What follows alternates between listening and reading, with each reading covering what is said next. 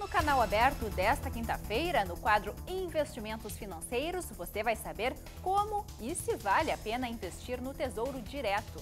Vamos falar também sobre os mais de 200 milhões de reais que a Santa Casa de Porto Alegre irá destinar para obras nos próximos cinco anos. Os fatos do dia na capital e no interior, entrevistas, a previsão do tempo para todas as regiões do estado e uma agenda completa de arte e cultura. Canal aberto vai ao ar do meio-dia e 30 até 1 e meia da tarde.